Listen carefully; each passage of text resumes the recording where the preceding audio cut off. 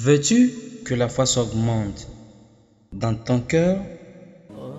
Mon frère bien-aimé, lis le Coran avec méditation. Que ta langue ne cesse d'évoquer Allah.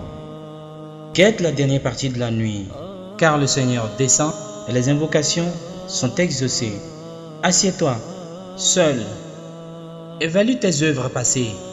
Aujourd'hui, c'est le travail sans le compte, mais demain, ce sera le compte et plus le travail.